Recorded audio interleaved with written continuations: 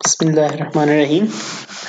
Assalamu alaikum dear students. Uh, this is Professional Ethics for BS Computer Science uh, 8th semester. Professional ethics में आज हम professional societies discuss कर रहे हैं professional societies एक topic था जो बीच में रह गया था uh, आप लोगों को मैं सिलेबस में से दिखा दूँ ये जो हमारे पास uh,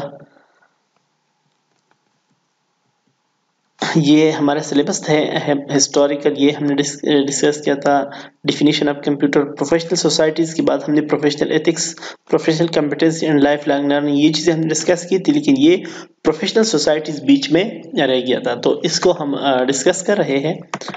प्रोफेशनल सोसाइटीज़ जो है मतलब ये एक ऐसी ऑर्गेनाइजेशन होते हैं या ऐसी सोसाइटीज़ होते हैं ऑर्गेनाइजेशन कह लिया आप, जो प्रोफेशनल बिहेवियर को प्रमोट करते हैं, जो सॉफ्टवेयर इंजीनियरिंग के या कंप्यूटर साइंस के जो प्रोफेशनल बिहेवियर है, कि मतलब एक कंप्यूटर साइंटिस्ट कैसा होना चाहिए, उसको प्रमोट करते हैं, उसको इन्हांस करते हैं, उसको डिवेलप करते हैं, या जो इस प्रोफेशनल सोसाइटीज़ के मेंबर होते हैं, उनमें ये क्वालिटीज़ प्रोड्यूस करते हैं। फॉर एग्ज़ाम्पल एक professional society let suppose I triple E है। आई क्या है?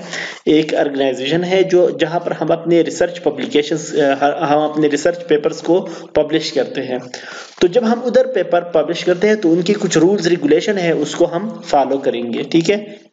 जब हम उधर पेपर पब्लिश करते हैं मतलब हम उसके मेंबर्स बन गए तो उसके मेंबर बनने के लिए कुछ रूल्स रेगुलेशन है जो हम फॉलो करेंगे। तो इस तरह ट्रिपल ई है ए सी एम है स्प्रिंगर है बहुत सारे और भी प्रोफेशनल सोसाइटीज़ हैं तो उसके मतलब रूल्स रेगुलेशन वगैरह हम पढ़ते हैं कि उनके मकासद क्या है।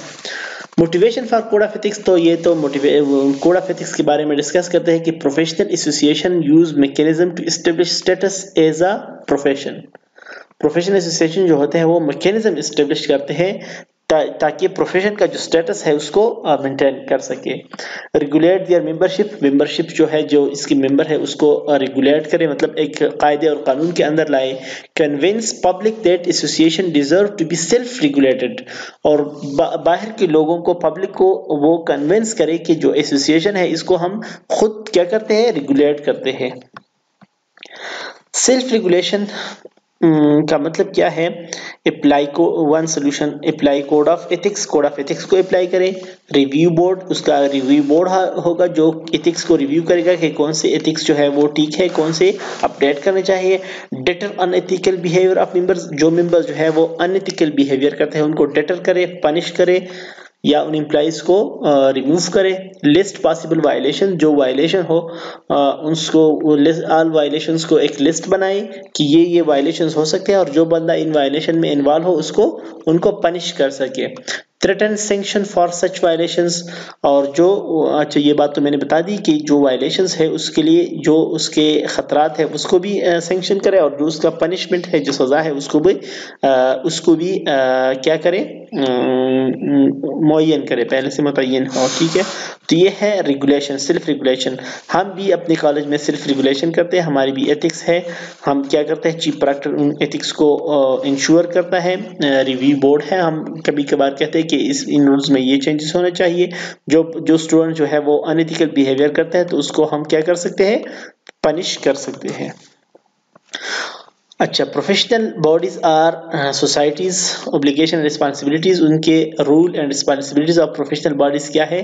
प्रोमोट स्टडी एंड प्रैक्टिस को प्रमोट करे सेफ़ गार्ड जो यूज़र्स है या या पब्लिक है उसको महफूज करे सेफ़ गार्ड करे एजुकेट लोगों को एजुकेट करे professionals and raise race awareness public professionals को और पब्लिक को क्या करे एजुकेट करे मेंटेन स्टैंडर्ड स्टैंडर्ड जो है वो वो मेंटेन करे ताकि सोसाइटी को फ़ायदा हो। ये ये चार चीज़ें जो है, ये रिस्पॉन्सिबिलिटीज है और रोल है प्रोफेशनल बॉडीज के या प्रोफेशनल सोसाइटीज के। अच्छा। उसमें से यूएसए एंड वर्ल्ड वाइड सबसे पहला जो हम डिस्कस करें ये association of computing machine ACM ACM जो है ये एक ऐसा इदारा है जहाँ पर मतलब ये एक प्रोफेशनल सोसाइटी है, इसमें प्रोफेशनली लोग काम करते हैं और हमारे लिए, मेरे लिए तो ये एक ये एक पब्लिशर है क्योंकि इस एसीएम में हम पेपर्स क्या करते हैं? पब्लिश करते हैं।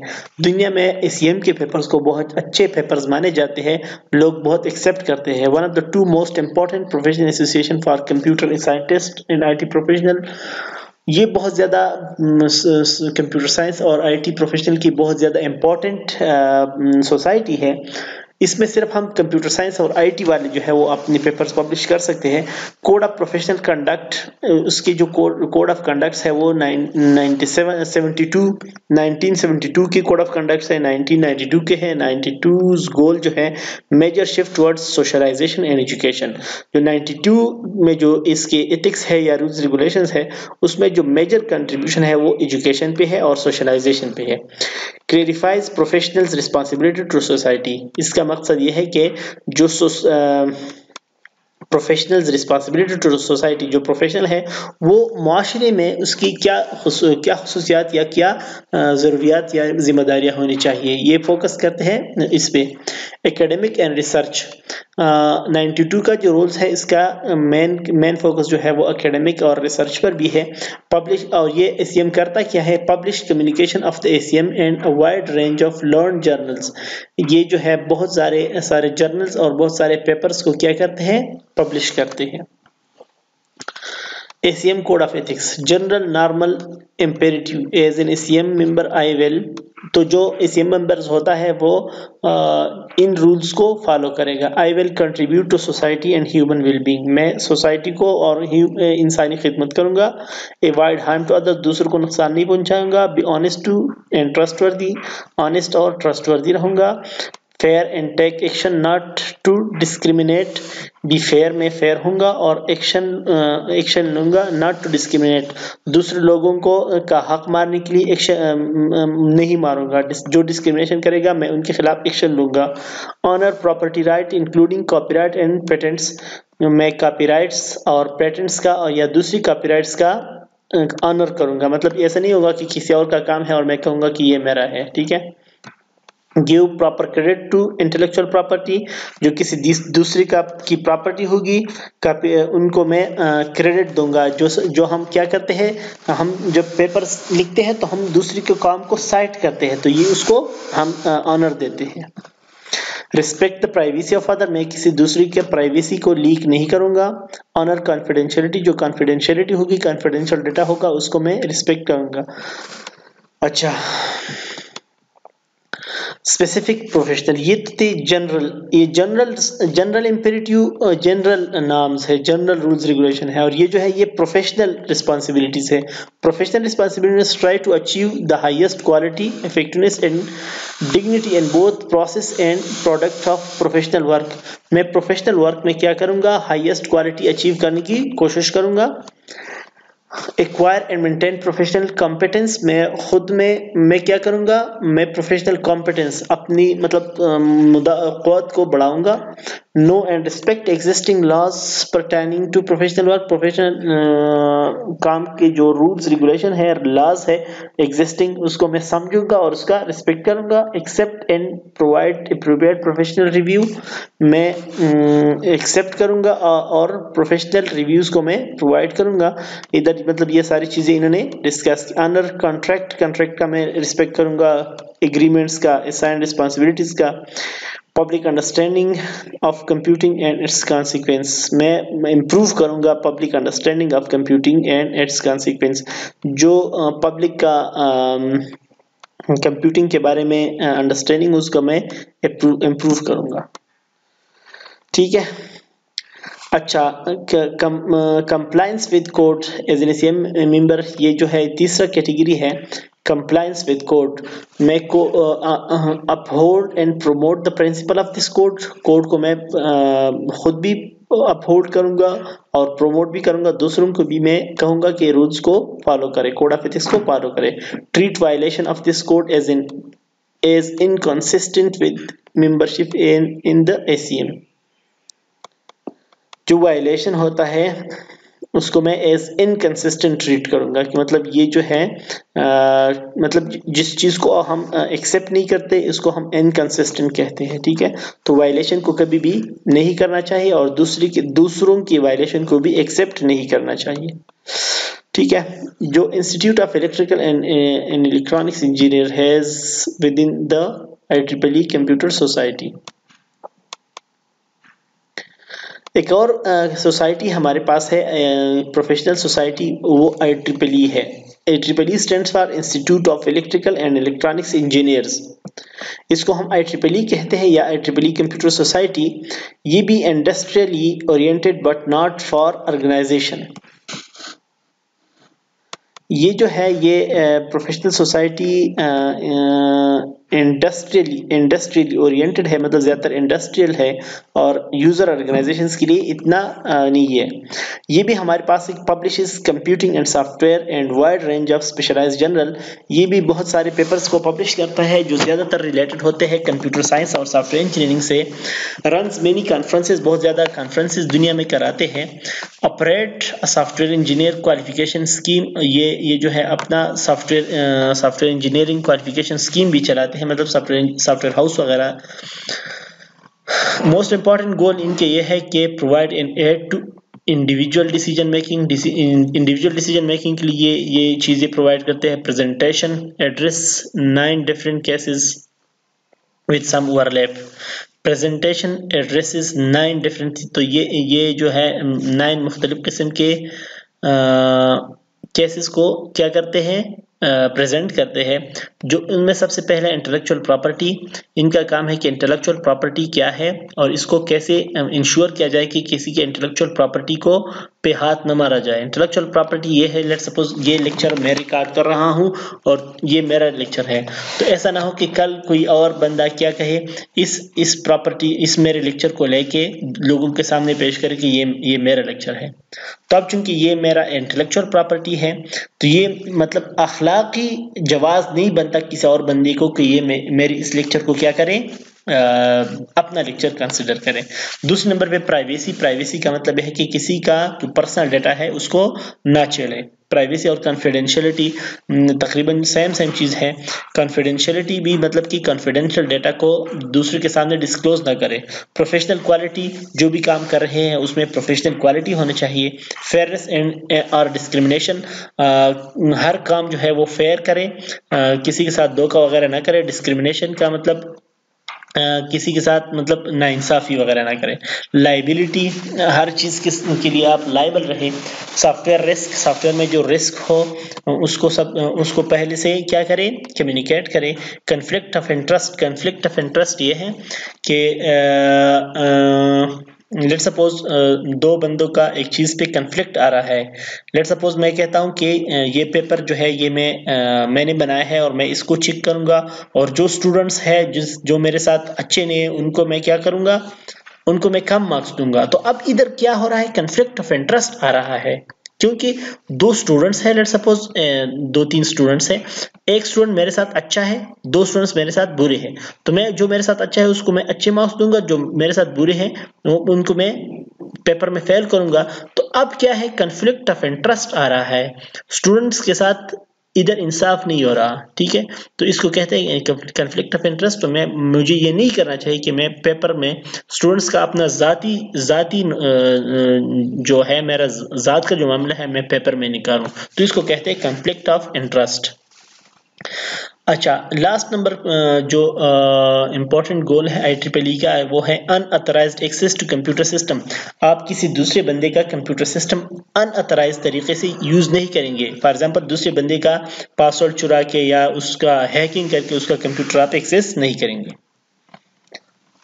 थर्ड नंबर सोसाइटी जो है द बीसीएस है. बीसीएस का मतलब है बोर्ड ऑफ़ कंप्यूटर सोसाइटीज इसमें code of conduct and its enforcement है.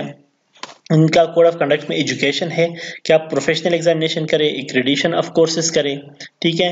इन, इनका ज़्यादातर जो काम है वो एजुकेशन के साथ है, ज़्यादातर ये एजुकेशन को प्रमोट करते हैं board of computer societies advancement of knowledge ये इनका काम ये भी है कि नॉलेज को प्रमोट करे स्पेशलिस्ट ग्रुप बनाए कंप्यूटर जर्नल्स बनाए कॉन्फ्रेंसेस करे।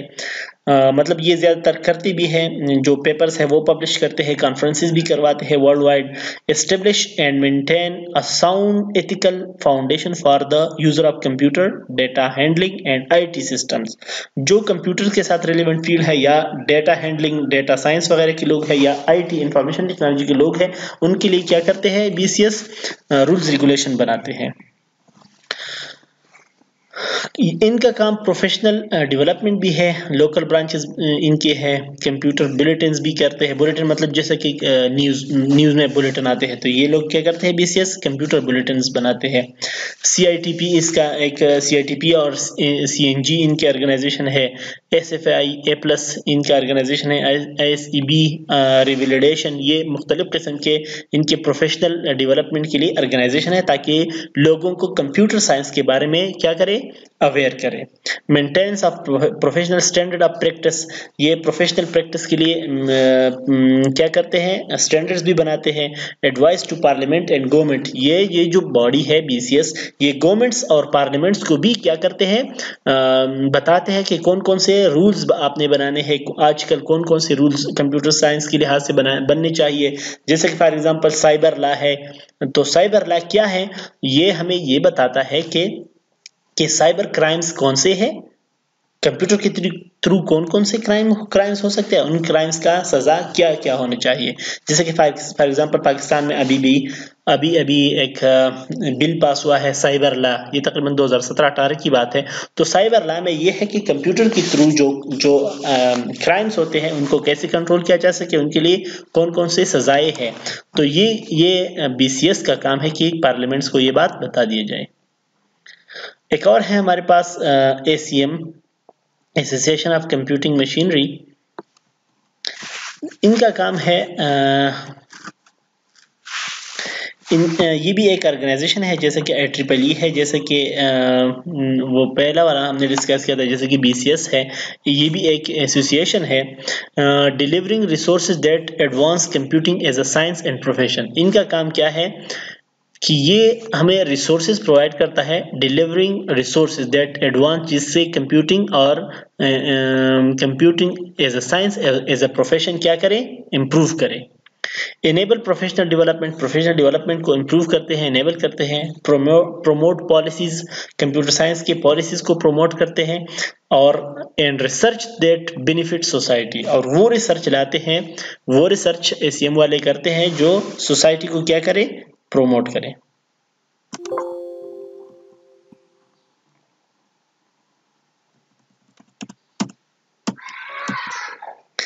तो एसीएम पहले भी हमने डिस्कस किया था ये वही एसीएम है।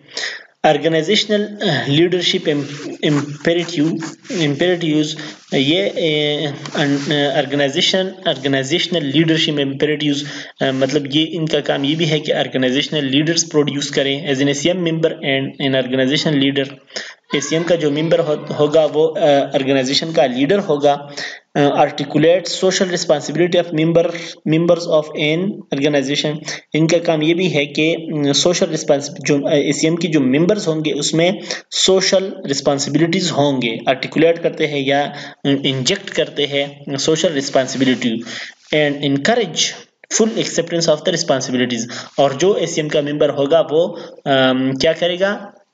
रिस्पॉन्सिबिलिटीज को एक्सेप्ट करेगा।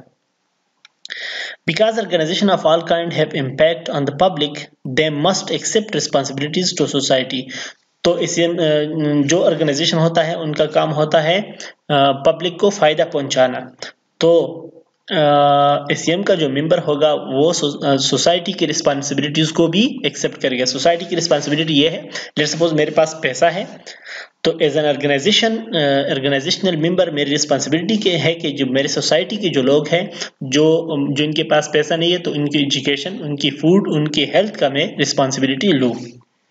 In this context organisation are corporation government agencies अच्छा एसीएम का मतलब क्या है? ऑर्गेनाइजेशन का मतलब है एसीएम एसीएम ऑर्गेनाइजेशन क्या है? ऑर्गेनाइजेशन एक कॉर्पोरेशन हो सकता है, एक गवर्नमेंट एजेंसी हो सकता है as well as volunteer professional organisation भी हो सकता है, ठीक है? लेट सपोज़ मैं हूँ, मैं एक एजुकेशन डिपार्टमेंट में काम कर रहा हूँ, और अगर मैं एसीएम का मेंबर हूँ तो एसीएम की जो रूल्स है मैं अपने डिपार्टमेंट में क्या करूँगा? मैं अपने आप पर लागू करूँगा। ठीक है? तो ये कुछ एसोसिएशन हमने डिस्कस की। नेक्स्ट जो है joint I triple C S M code of ethics है। तो इसको हम नेक्स्ट लेक्चर के अंदर डिस्कस करेंगे।